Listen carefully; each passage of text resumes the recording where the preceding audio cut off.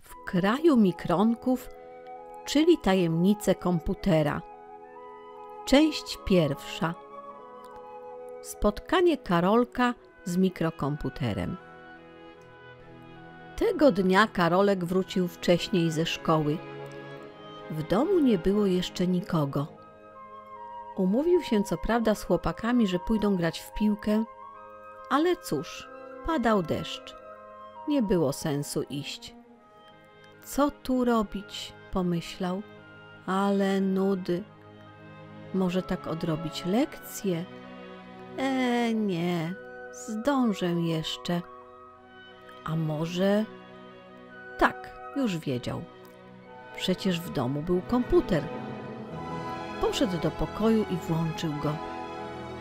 Widział już poprzednio, jak to robił tata. Od chwili, kiedy pierwszy raz zobaczył komputer, zawsze go zastanawiało, co się dzieje w środku. Siedząc przed komputerem, pomyślał na głos. Gdyby tak można było wejść do środka i zobaczyć, jak to wszystko działa. Nie zdążył nawet wypowiedzieć zdania do końca, kiedy ekran zamigotał i pojawił się na nim śmieszny i dziwny stworek. Czy chcesz obejrzeć wnętrze komputera? zapytał. No pewnie! Nie zastanawiając się, odparł Karol. Raptem, jak za dotknięciem różdżki czarodziejskiej, Karolek znalazł się w bajkowym świecie. Wyglądało to jak dziwne miasto. Budynków było niewiele, ale za to dużo ulic.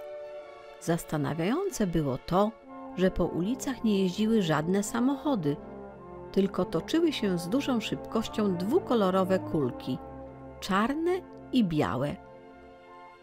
Kiedy Karolek stał niezdecydowany na skraju drogi, podszedł do niego ten sam zabawny stworek, którego widział na ekranie. Cześć, powiedział stworek. Jestem Mikronek. Mam na imię Bitek. Nasz władca Z80 z dynastii Zilogów polecił mi, żebym cię oprowadził po naszym królestwie. Chodź za mną. Pokażę ci, jak żyjemy i pracujemy. Opowiem ci także, jak jest zorganizowane nasze królestwo. Rząd mieści się w pałacu nazywanym mikroprocesorem. Jest także osiedle pamięci stałej zwane ROM, osiedle pamięci użytkowej RAM oraz przejścia graniczne, tak zwane porty. Jeżeli będziesz miał ochotę, zwiedzimy wszystko po kolei. O rany, ale świetnie! wykrzyknął z przejęciem Karol. Ale przygoda! Naprawdę będę mógł się wszystkiego dowiedzieć i wszystko mi pokażesz? Naprawdę. Musisz tylko uważnie słuchać i obserwować, powiedział Bitek. My jesteśmy po to, żeby pomagać ludziom. Ale pozwolisz, że najpierw ja zadam ci pytanie. Powiedz mi, z czego składa się komputer? To proste. Komputer to taki mały telewizorek, pudełko z klawiszami, magnetofon kasetowy albo taki specjalny magnetofon, w który wkłada się czarne kopertki z dziurką po środku i może też być maszyna, co sama pisze. Prawie dobrze, podsumował Bitek. Opowiedziałeś mi, jak według ciebie wygląda komputer. To teraz ja ci powiem, jak my nazywamy te wszystkie części. Telewizorek to jest monitor. Pudełko z klawiszami to klawiatura. Ten specjalny magnetofon to stacja dysków, a czarne kopertki nazywamy dyskami elastycznymi. Maszyna, która sama pisze, nazywa się drukarką. Wszystko to nie jest jednak komputerem. Są to urządzenia zewnętrzne, które służą nam do porozumiewania się z ludźmi. Właściwym komputerem jest nasze królestwo. Czasami budujemy je w pudełku z klawiszami, czyli pod klawiaturą, a czasami, gdy państwa są duże, budujemy je w osobnym pudełku. Warto by było, żebyś zapamiętał, że istnieje wiele różnych państw komputerowych. Jedne są biedniejsze, inne bogatsze. Państwo jest bogatsze, jeżeli ma więcej osiedli pamięci, jeżeli wszyscy pracują szybciej oraz jeśli ma większe możliwości porozumiewania się z innymi królestwami, czyli więcej różnych portów. O tym wszystkim będziemy jeszcze mówili. A teraz następne pytanie. Czy wiesz, do czego potrzebne są komputery? Tak, oczywiście. Do tego, aby grać w różne gry, wykrzyknął Karolek. Przecież ja już się bawiłem komputerem. Hmm, hmm, mruknął Mikronek. Wy sobie gracie, a my musimy ciężko pracować. Czy naprawdę nie słyszałeś o innych zastosowaniach komputera? Pomyśl dobrze.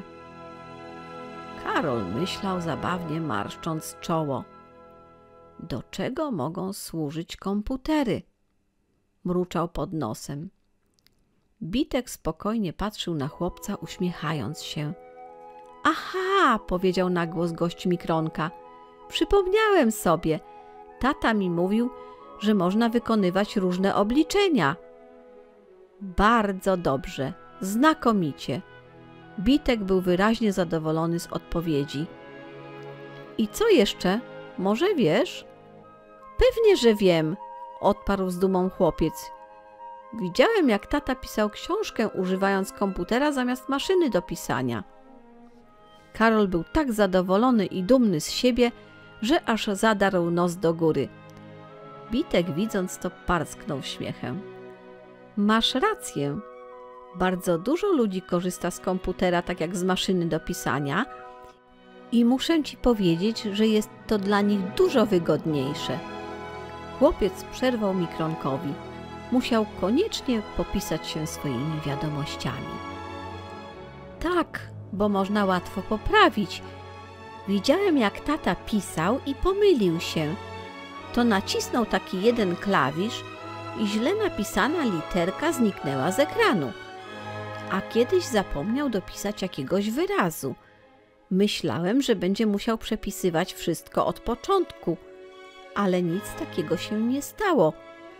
Tata zaczął naciskać specjalne klawisze, na których były narysowane strzałki. Na każdym klawiszu była strzałka w inną stronę w górę, w dół, w prawo, w lewo.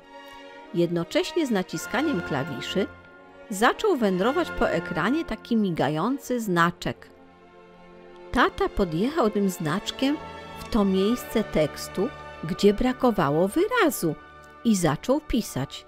Byłem bardzo zdziwiony, bo te litery, które już były, przesuwały się w prawo, robiąc miejsce nowym literkom. Wyglądało to bardzo zabawnie. A czy może wiesz, jak nazywa się ten migocący znaczek? zapytał Bitek swojego małego przyjaciela. Karolek z zakłopotaniem podrapał się w głowę i powiedział niepewnie: y, Chyba kursor. Wspaniale. Widzę, że masz dobrą pamięć i sporo już wiesz o komputerach, stwierdził Mikronek. Rzeczywiście jest to kursor. Pokazuje on, w którym miejscu ekranu się znajdujesz. Tam, gdzie jest kursor, tam będziesz mógł wpisywać dowolne znaki z klawiatury. Możesz to wszystko robić dzięki programowi, który nazywa się edytor tekstów. Edytor pozwala Ci także dokonywać wielu dziwnych rzeczy z tekstem. Możesz przenosić kawałki tekstu w inne miejsce, możesz usuwać wybrane fragmenty z tekstu i tak dalej. Jak doskonale wiesz, maszyna do pisania nie ma takich możliwości, a dla komputera jest to po prostu fraszka. Ojej, westchnął chłopiec. Jakby to było dobrze, gdyby można było używać komputera w szkole do odrabiania lekcji, Nie byłyby potrzebne brudnopisy, nie trzeba by było skreślać, a jaka przy tym frajda! Być może, że do tego dojdzie w niedługim czasie, powiedział Bitek, ale chciałbym ci jeszcze powiedzieć w paru słowach, co poza tym potrafią komputery. Można by o tym mówić bardzo długo. Możliwości zastosowania są wprost nieograniczone. Na przykład komputer może rysować. Rysować? Karolek z niedowierzaniem spojrzał na Mikronka. Oczywiście. Może rysować na ekranie monitora, a jeżeli będziesz chciał, to także na papierze. Do rysowania na papierze służy specjalne urządzenie zwane ploterem. W jaki sposób się to dzieje, zobaczysz później. No, no, pokręcił głową Karol. Nie przypuszczałem, że komputery mają takie możliwości. A czy mógłbyś mi powiedzieć, co one jeszcze mogą robić? Oczywiście, że mogę, ale to już na następnym spotkaniu.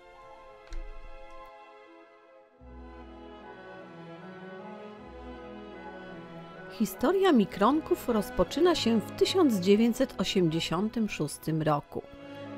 W tym czasie komputer osobisty był nowością i tylko w nielicznych domach był dostępny. Głównie korzystali z niego informatycy.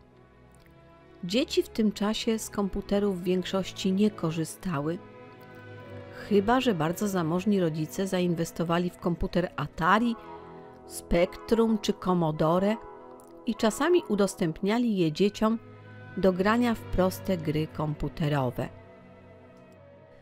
W roku 2023 trudno sobie to wyobrazić, gdyż w czasach obecnych prawie każdy ma na wyłączność komputer, notebook, smartfon, tablet, skaner, urządzenie wielofunkcyjne i mnóstwo innych urządzeń elektronicznych.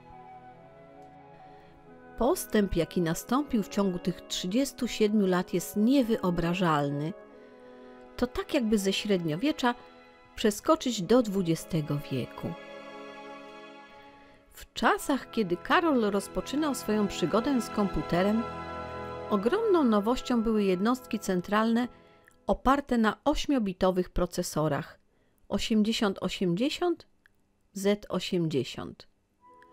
W kolejnych latach powstawały procesory 16-bitowe.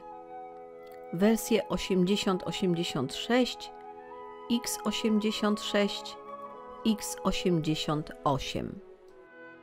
Prawdziwym przełomem było wprowadzenie na rynek w 1982 roku procesora drugiej generacji 286. Następnie powstawały procesory 32-bitowe.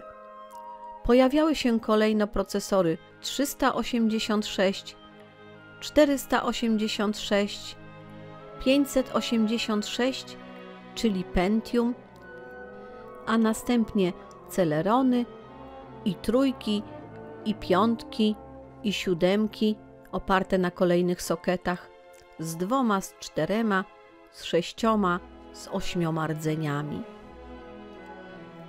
Aż do współczesnych i dziewiątek szesnastorrdzeniowych. Równolegle powstawały procesory firmy Intel i AMD. Postęp technologiczny nastąpił lotem błyskawicy.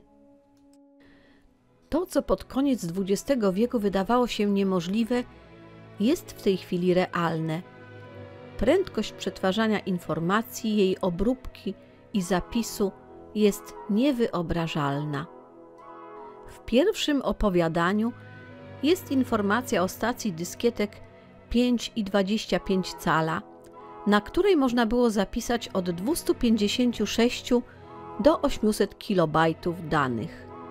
Dopiero później pojawiły się stacje 3,5 cala i dyskietki o pojemności zapisu 1,44 MB. Kolejno pojawiły się CD-ROMy i nagrywarki DVD-R i DVD-RW z płytami CD o zapisie 700 MB i płytami DVD o zapisie 4,7 GB.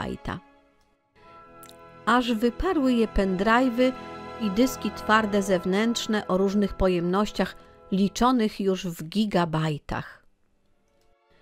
W latach 80. XX wieku pracowano na monitorach 14 i 15-calowych CRT, które bardziej wyglądem przypominały telewizor kineskopowy. Były też na ogół monochromatyczne, a jeżeli kolorowe, to z maksymalną rozdzielczością w kolorze 160 na 200 pikseli i 320 na 200 pikseli. Gdyby historia mikronków zaczynała się dzisiaj, to prezentowane kwestie techniczne wyglądałyby zupełnie inaczej. Ale w historiach ważne są odkrycia i przygody, a także ciekawość, która wzbogaca wyobraźnię. Dlatego zapraszam do śledzenia losów tych zabawnych stworków, bo niektóre rzeczy się nie zmieniają, choćby układ binarny czy magistrale transferu danych. Zapraszam do śledzenia kolejnych odcinków Krainy Mikronków.